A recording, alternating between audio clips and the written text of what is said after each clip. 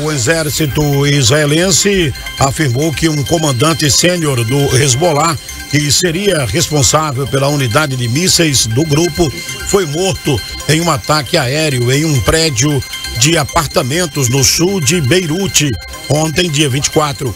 As forças de defesa de Israel identificaram o comandante como sendo Ibrahim e acrescentaram que durante o ataque havia outros comandantes importantes no grupo de mísseis e foguetes do Hezbollah. Ibrahim comandou várias unidades de mísseis do grupo e do grupo eh, libanês, incluindo as unidades de mísseis de pressão, segundo os israelenses.